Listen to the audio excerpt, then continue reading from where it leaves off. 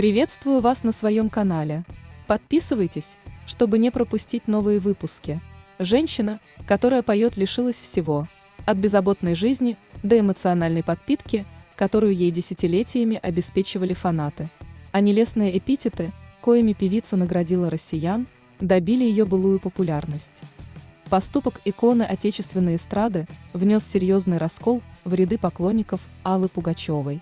Конечно, многие соотечественники по-прежнему готовы верить в непогрешимость исполнительницы хита «Миллион алых роз».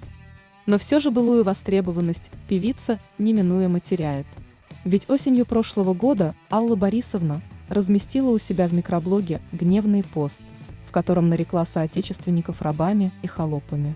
Понятное дело, что оскорбительные высказывания супруги севшего в лужу юмориста изрядно подмочили некогда чистую репутацию народной любимицы.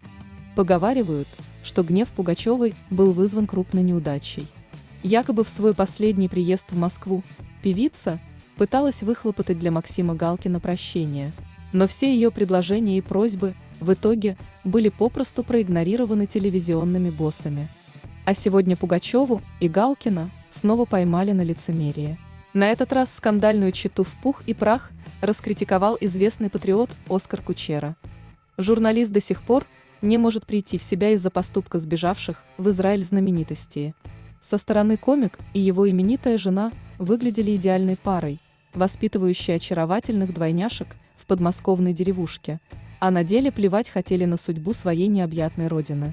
Заработав огромное состояние в России, артистка и ее молодой супруг, юморист, Теперь то и дело поливают страну-кормилицу отборными помоями.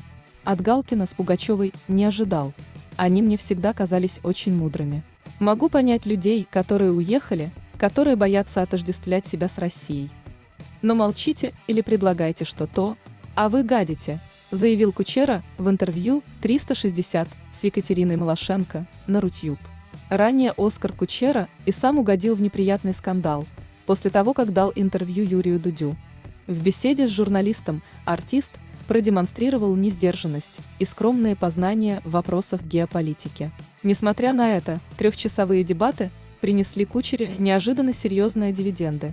Несговорчивый патриот, по мнению интернет-аудитории, просто озолотился благодаря умению отстаивать свои интересы, пусть даже и таким оригинальным способом.